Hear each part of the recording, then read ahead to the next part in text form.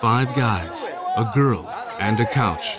Along with some legendary whitetails, Redbone Entertainment brings you Come walking in. a clan. Like no other. Oh my gosh, I got him. This is our first day. Legends of the Fall. Look at that deer. Kansas Giant. Done, right there. 40 yards fell over dead.